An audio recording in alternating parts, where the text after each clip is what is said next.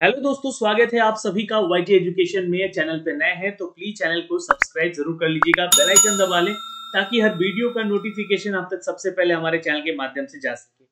जैसा कि आप सभी को पता है कि बिहार में पुलिस की रिक्रूटमेंट का इंतज़ार भी छात्र कर रहे हैं, क्योंकि 10 से बारह हज़ार की वैकेंसी आने वाली है, लेकिन कब तक आएगी वैकेंसी इसका कोई अभी, कोई भी पुख्ता यहाँ पे अपडेट नहीं दिया गया है।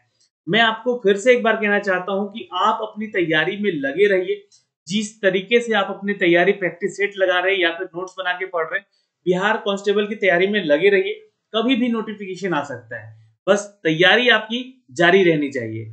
एक अपडेट दोस्तों आया है आज सुबह ही बिहार पुलिस ड्राइवर भर्ती को लेकर हाँ, चालक बहाली को लेकर। यहाँ पे मैं उसके बारे में थोड़ी सी जानकारी आपको दिखाना चाहता हूँ और ये मैं एजुकेशन के पे भी इसका एक वीडियो बना के ऑलरेडी सुबह आपको बताया था। पुलिस चालक की रिक्रूटमेंट के लिए यहाँ पे प्रस्ताव मांगा गया है क्योंकि आपको बता दें कि बिहार पुलिस में जो जल्द ही यहाँ पे सिपाही सभी श्रेणियों के लिए बहाल किए जाएँगे, जो कि ड्राइवर होंगे। और ये वायरलेस ड्राइवर भी होंगे यहाँ पे जो कि रिक्रूट किए जाएँगे। साथ ही साथ विधि विज्ञान प्रयोगशाला के लिए चालक पदों की यहाँ पे रिक्रूटमेंट ली जाएगी। यानी कि तीन संवर्ग है यहाँ पे, जिनमें की इन तीनों के तहत बहाली की प्रक्रिया ली जाएगी।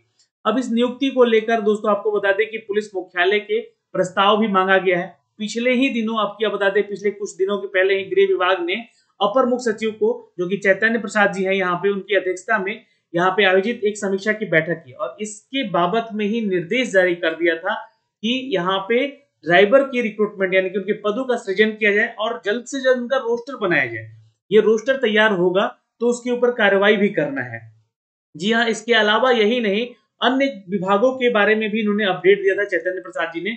लेकिन ड्राइवर के रिक्रूटमेंट को लेकर इन्होंने साफ़ साफ़ कह दिया था, गृह विभाग के मुख्यालय को प्रस्ताव मांग दिया था, जहाँ पे महिला पुलिस कर्मी भी यहाँ पे इस बहाली की प्रक्रिया में शामिल होंगे। यानी कि ड्राइवर बनने के लिए महिलाएँ भी यहाँ पे अग्रसर होंगी। तो उनके भी टोटल वैकेंसीज के बारे में अपडेट नहीं किया गया अभी तक फ़िलहाल। और सीएसबीसी को ये अपडेट दिया जाएगा कि आप यहाँ पे नोटिफिकेशन जारी कीजिए। तो यहाँ पे सवाल बनता है कि कौन सी योग्यता है जो कि आपको सिपाही भर्ती से थोड़ा सा अलग करती है। ये भी मैं बताऊँगा। और कब तक ये रिक्रूटमेंट जो है आपकी आ सकती है, ये भी मैं बताऊँगा। जी हाँ अगर आप वीडियो को देख रहे हैं तो वीडियो को अंत तक देखिएगा। सारी जानकारी आपको अपडेट की जाएगी। सीधे लिए चलते हैं दोस्तों इसके ऑफिशियल अपडेट पे। और ये जो है, आप लोग यहाँ से चेक कर सकते हैं। सीएसबीसी की तरफ़ से इसका नोटिफिकेशन 2019 वाला जारी किया गया था। अब यहाँ पे एक चीज़ बदलाव है। जैसे कि अगर आप बिहार कांस्टेबल का रिक्रूटमेंट देखते होंगे जहाँ पे आपको रिक्रूटमेंट निकाली जाती है। तो एज क्राइटेरिया को लेकर वहाँ पे बोला जाता है 18 से 23 साल तक के छात्र आवेदन कर सकते हैं जनरल कैटेगरी में। इसमें जनरल कैटेगरी में।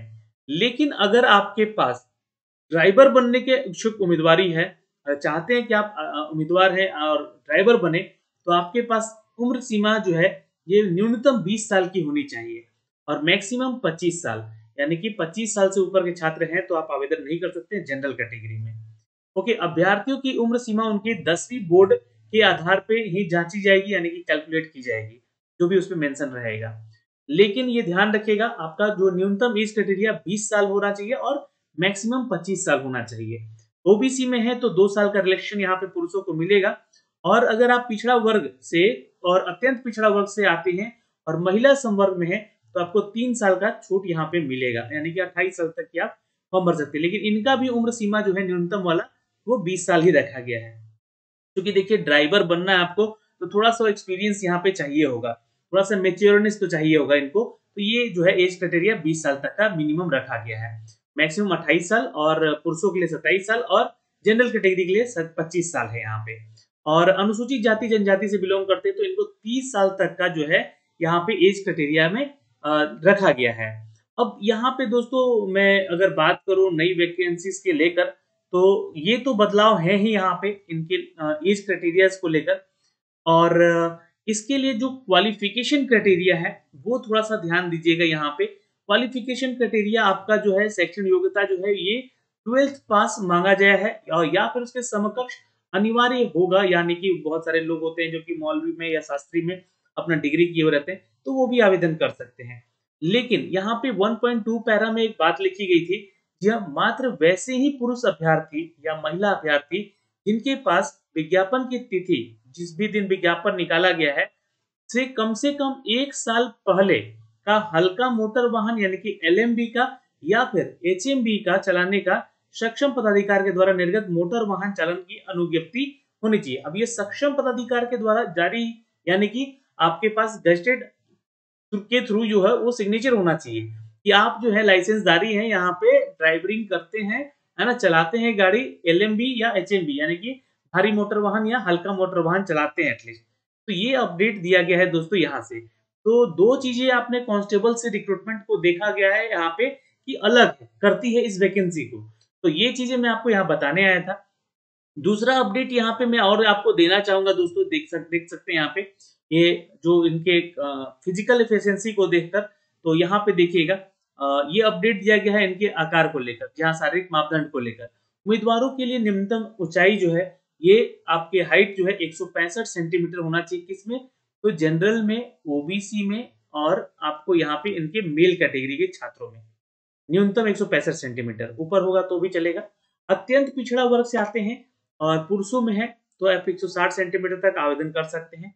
अनुसूचित जाति, जनजाति से हैं, पुरुष वर्ग में आते हैं 160 सेंटीमीटर तक भी आप यहाँ पे योग्य अभ्यर्थी हैं आवेदन करने के लिए। तो ये इनका फ़िज़िकल एफिशिएंसी हो गया।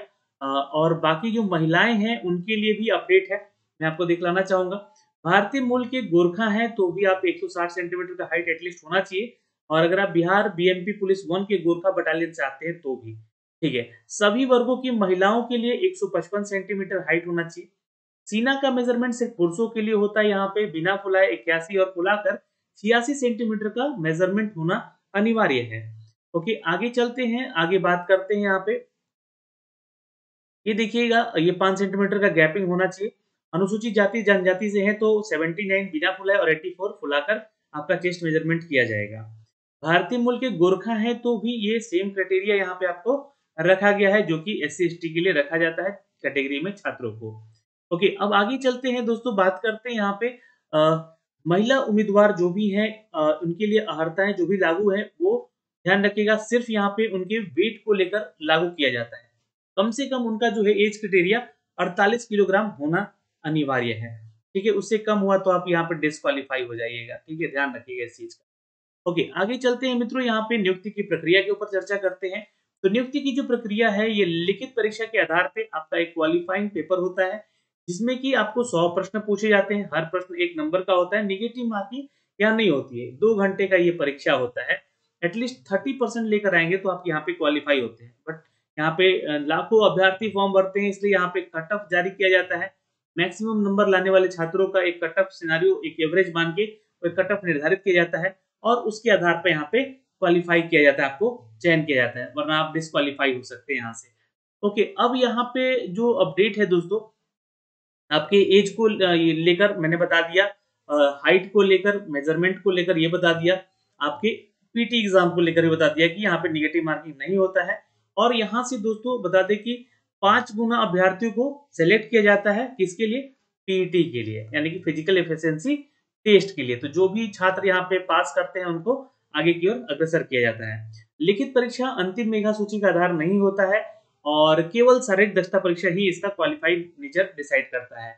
यानी कि आप क्वालिफाई तब करेंगे जब आप जो है फिजिकली फिट होंगे और इसका एग्ज़ाम क्लियर करेंगे। आपका जो पीटी एग्ज़ाम होता है ओ एम बेस होता है, ध्यान रखिएगा। और द्वितीय चरण जो होता है, आपका पीईटी होता है। अब यहाँ पे दूसरा चरण जो है पीईटी का, वो थोड़ा सा कठिन होता है, यहाँ पे देखिएगा। इसके लिए जो मेज़रमेंट दिए गए हैं, ये भी आपको ध्यान में रखना चाहिए। दौड़ जो होता है दोस्तों, यहाँ पे 1.6 किलोमीटर का होता है। बिल्कुल सिपाही वाला ही दौड़ है यहाँ पे। बट यहाँ पे सात मिनट का समय दिया जाता है। वहाँ पे आपको छह मिनट तीस सेकेंड का समय मिलता है। तो इस यहाँ पे सात मिनट का मिलता है। तो यहाँ पे भी एक बदलाव देखने को मिलेगा। सभी कोटि के महिलाओं के लिए सात मिनट का समय इनको मिलता बट ये एक किलोमीटर की ही दूरी इनको तय करनी पड़ती है। अब यहाँ पे हाई जंप को लेकर जो पुरुषों को तीन फीट छह इंच का हाई जंप रहता है और महिलाओं को दो फीट छह इंच का। यहाँ से आप लोग ये सारी चीज़ चेक कीजिएगा, इसमें भी आपको बदलाव है बिहार सिपाही से रिगार्डिंग अगर देखिएगा तो। यह तीन फीट छह इंच का पुरुषों के लिए और दो फीट छह इंच जो है महिलाओं के लिए। लंबी कूद के बारे में बात करें तो दस फीट जो है पुरुषों के लिए और महिलाओं के लिए सात फीट का यह लॉन्ग जंप होता है। गोला फेंक में पुरुषों को 16 पाउंड का गोला फेंकना होता है 14 फीट तक फेंकना होता है और महिलाओं को 12 पाउंड का गोला फेंकना होता है, वो 8 फीट तक ही ये फेंकना होता है। तो ये हो गया इनका एलिजिबिलिटी क्राइटेरिया दोस्तों यहाँ से। ओके, आपके पीईटी e को लेकर।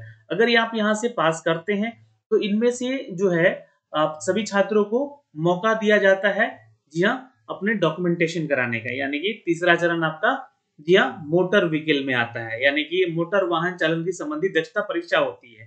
क्योंकि यहाँ पे एक एक्स्ट्रा हो जाता है क्योंकि यहाँ पे ड्राइवर की वैकेंसी है तो आपसे जाँच किया जाएगा कि आपको गाड़ी चलाने आती है या नहीं आती है। और ये जो है अधिकतम अवधारित अंक यहाँ पे सौ नंबर का होता है। जी हाँ इसमें परफॉर्मेंस आपको दिखाना होता है और उन्हें निम्नलिखित रिक्ति अंक प्रदान किए जाते हैं। टेस्टिंग ट्रैक दिया जाता है उनको यहाँ पे चलाने के लिए। प्रशिक्षण हेतु यहाँ पे एक टेस्टिंग ट्रैक होता है, नीचे दर्शाए गए चित्र के अनुसार। आप देख सकते हैं, मैं आपको दिखलाता हूँ यहाँ से। आप इसको ज़रूर देखिए, है ना? सभी खंबे यहाँ पे अपडेट किए रहते हैं।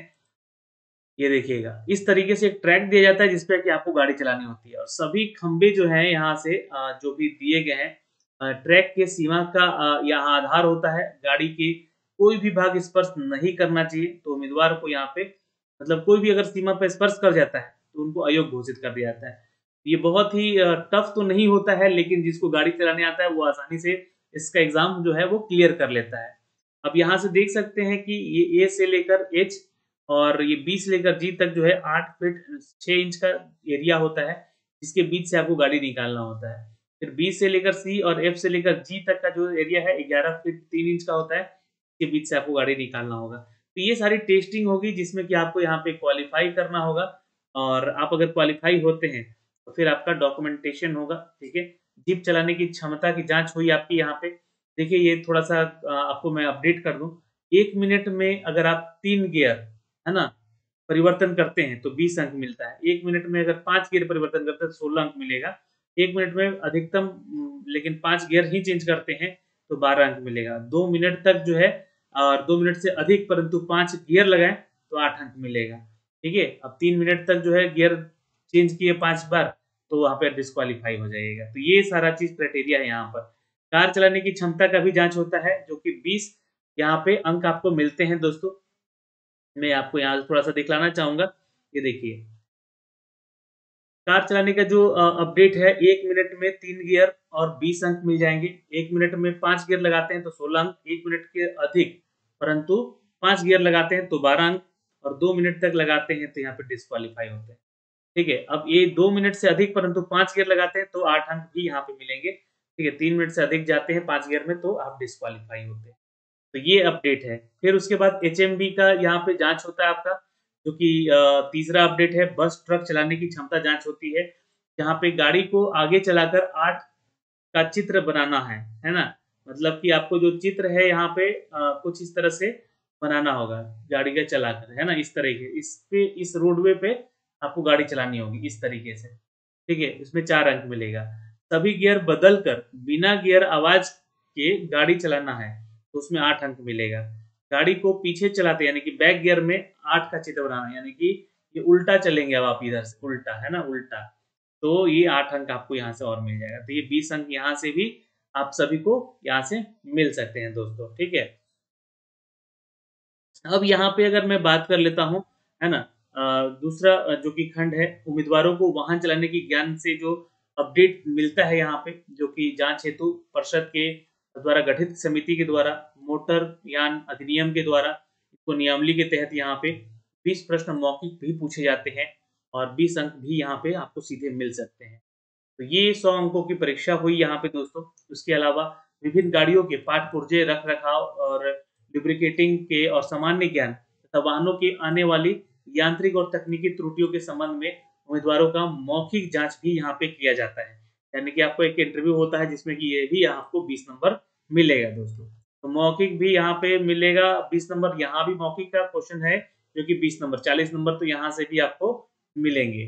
तो ये जो जाँच है दोस्तों, क से लेकर अंगर तक का जो जाँच लिखा गया है, इसमें अंक प्राप्त नहीं करने वाले अभ्यर्थियों को असफल घोषित कर दिया जाता है। और इसी के आधार पर फिर आपका जो है, अंतिम मेधा सूची बनता है, जिसमें कि छात्र यहाँ पे सेलेक्ट होते हैं। वाहन चालक दक्षता परीक्षा के अंकों का जो है, पॉइंट सेवन फाइव से गुना करके सब उसमें संविदा जितने भी नियोजन अवधि के लिए अधिकतम के आधार पे उनको अंकों को प्राप्त करके उनके आधार बनाए जाते हैं, मेधा सूची बनाई जाती है। उदाहरण के लिए अगर हम बात करें तो जैसे कि यहाँ पे देख सकते हैं, वाहन चलाने की दक्षता परीक्षा में आपको अंक, मान लीजिए कि 95 आया तो यहाँ पे पॉइंट सेवन से फाइव से यहाँ से मल्टीप्लाई कर देंगे। तो ये जो है आपका इकहत्तर दशमलव दो पाँच है अंक बना। संविदा नियोजन अवधि के लिए अधिक मानता जो है पच्चीस अंक है। ये भी पच्चीस अंक जोड़े जाएँगे इसमें। तो कुल छियानवे दशमलव दो पाँच आपको यहाँ पे मिलते हैं दोस्तों। ठीक है तो ये आपका अंक बनता है, इसके आधार पर मेधा सूची आपकी बनेगी। बस ट्रक चलाने की क्षमता की बात करें यहाँ पे तो उसका मेधा अंक भी जोड़ा जाएगा। मोटर वाहन जो कार और जीप चलाने की जो है, उसका भी अंक यहाँ पे आपको जोड़ा जाएगा। और दसवीं कक्षा के आधार पे आपका एज कैलकुलेट किया जाएगा। अंतिम मेधा सूची अनुसूचित जाति जनजाति के अभ्यर्थियों के लिए भी तैतीस परसेंट का आरक्षण जो दिया गया है, उसमें क्वालिफाई होते हैं तो उनको क्वालिफाई कर लिया जाता है। तो फ़िलहाल ये जो है नियुक्ति का प्राधिकार है दोस्तों, इसमें कि आपका सिलेक्शन होता है बिहार के कांस्टेबल ड्राइवर के लिए। थोड़ा सा कठिन होता है आपका यहाँ पे पीईटी क्राइटेरिया को लेकर जब आपको ड्राइविंग कराई जाती है, उसके पाँच पुर्जों के बारे में पूछा जाता है, उसका एक छोटा सा इंटरव्यू भी होता है बीस नंबर का तो वहाँ पे छात्र घबरा जाते हैं और गलत आंसर कर बैठते हैं तो वहाँ से डिस्कालीफाई भी बहुत होते हैं। तो ये सारी चीज़ों की जानकारी आपको रखनी पड़ेगी अगर आप ड्राइवर की वैकेंसी के लिए आवेदन करने जा रहे हैं तो। फ़िलहाल कोई भी आपका डाउट है तो आप कमेंट सेक्शन में कमेंट करके पूछिएगा। हम लोग ज़रूर अपडेट करेंगे। नई वैकेंसी कब तक आएगी इसकी? तो ये जनवरी में नई वैकेंसी अपडेट की जाएगी दोस्तों। सीएसबीसी की तरफ़ से कांस्टेबल की रिक्रूटमेंट आ सकती है। पिछली बार 1700 की वैकेंसी आई हुई थी। इस बार भी हो सकता है कि हज़ार से लेकर 1500 की वैकेंसी आने की संभावनाएँ हैं। तो अभी के लिए इस वीडियो में इतना ही। मिलेंगे आपसे अगले वीडियो में तब तक के लिए जय हिंद।